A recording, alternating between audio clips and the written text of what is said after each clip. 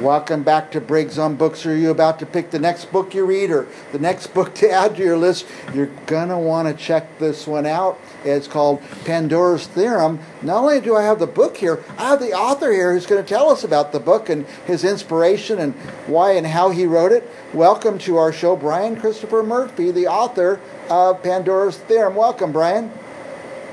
Hey Mike, how you doing? Good to see you again. Very good. I was reading up on this book a little. It's pretty exciting. Set in Canada. Are you from Canada?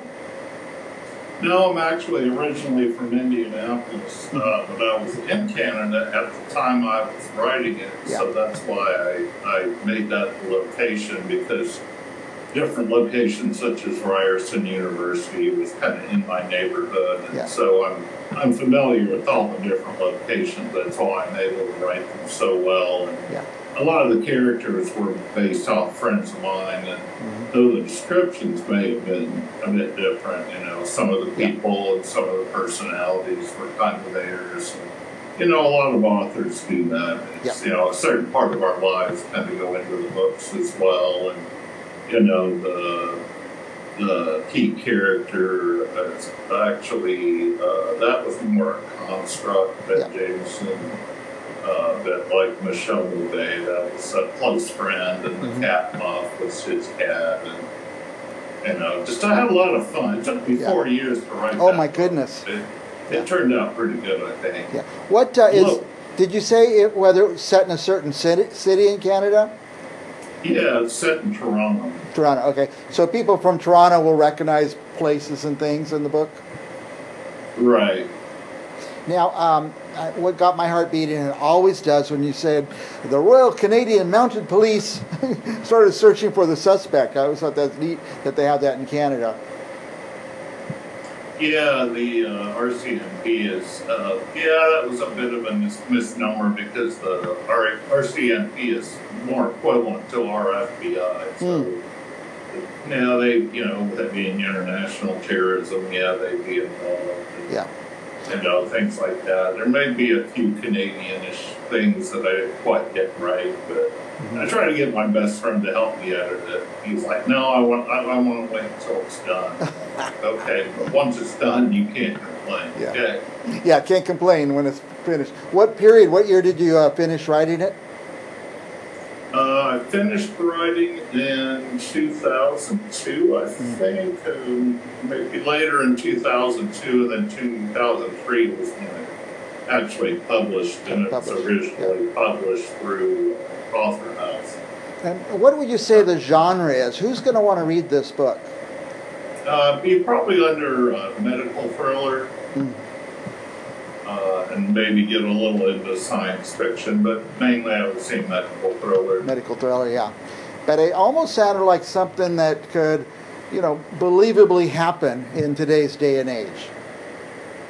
Oh yeah, I, I kind of think so, especially seeing that with all the advances in digital technologies and medical technologies, you know, and you know, telomeres. That's that's been a known science, you know, Uh-huh. science of aging and things like that. That's that's been known for quite a while. Yeah.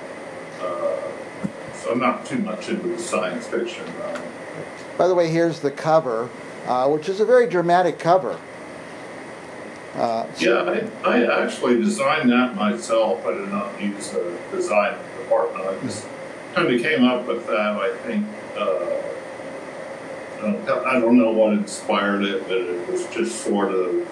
I think the theory of Pandora's box. You don't know what you're going to get. mhm. Uh, it's kind of where I drew my inspiration for the cover. You know, madness, mayhem, murder, Yeah. money, of course. Uh, yeah, kind of all the different elements I see as contributing, you know, to those different, yeah, kind of the, the motive for murder, so to speak. Almost a formula for murder. Uh, Yeah, uh, really, I was just kind of thinking, no, but this, this that just sounds kind of cool. but hey, author, go figure. now, I, uh, before I start any interview, I punch up to the Amazon and it popped right up, very easy to find. Where, where else can people get the book? Uh, if if they're still around, like Borders bookstores, Barnes and Noble, Uh, probably Amazon is your best bet. I'm not sure what booksellers. There's really only three uh, book distributors like Yeah. uh, Baker Taylor Brown, and I can't remember the third. Yeah. Uh, but so where else? But definitely Amazon. I know it's available there, hardcover. I'm sure there are places where uh, you can find paperback copies. Yeah. Uh, with it having been available for so long, I think you know it's, it shouldn't be too hard to find. Yep, they should be out there. If they're out there, they're out there. You can find them, that's for sure. And now is it in? I call the versions you have uh, analog, good old hardcover and paperback. Did, Right. did it? Yeah, because see, one of the issues that was supposed to be the first book in a trilogy Ah. I was working on, uh, and unfortunately, the manuscript for it is on a three and a half inch disc. well, those are now obsolete. So Yeah. even if I still had that disc, I lost it somewhere along the line.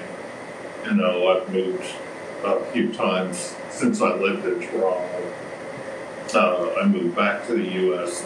at the end of 04, so Yeah. somewhere along the line, the original manuscript was lost, and I never got around to writing, you know, a, second in that trilogy. I figure, well, still a lot of years left, so I may finally Yeah. get around doing that. I have uh, my kids are grown, but they would not know what a three and a half inch disc was. So that's interesting. Yeah, So yeah, I'm sure we've both seen so many things come and Yeah. go. The you know the VCR and uh, remember eight track tapes. Yep, Yeah, those are eight-track all tapes. things. And I, uh, my grandfather had one. I went, ooh, look, an eight track, just like Sony. Well, they uh, you could send the book out to a typist and just have them retype the whole thing for you. You'd have a manuscript, and uh, uh, you're young. I mean, you're really a young man, relatively, and uh, there's plenty of time for you to come out with the two more, uh, two more in the Yeah. series. It's really amazing today's digital technologies. And Yeah. of course, we got print on demand now, because back then, Yeah. to publish a book, it was a minimum 10,000 copy run, Yep. whereas now they can be printed as they're ordered. And, you know, it may take a while if you order a copy to get it, but again, it's being freshly printed and minted and Mhm. you know, because that was some some friends said, you know, they ordered a copy, but it took forever to get it. And I'm like, well, back then it would. Right, right. That's amazing that the technology has come so far for for uh, authors and publishing and uh, people who never had a chance to be a publisher are now able to write books and get them out there, and that that is great. Uh, uh, Brian, we're running out of time. I know you have a lot of other. Uh, irons in the fire, so to speak. So we hope we see more books come out. And I, I encourage our viewers go check this one out. Uh, I was getting to the point. It's not on Kindle. Is that right? It's not on audiobook. It's just on the old, good old analog uh, hardcover and paperback. Yeah, just hardcover, paperback. Uh, I've done a lot of recent writing. You know, that's some articles available on LinkedIn about leadership in the 21st century, and uh, you know, I've still got some works out there. I have a book outlined on, about adulting and through the generations. Uh, that may be coming into a book form. I don't know. We'll kind of see, because I do enjoy writing, but I have a lot of other creative, creative outlets as well. Yeah. So we may see another book uh, by you in another genre. Who knows?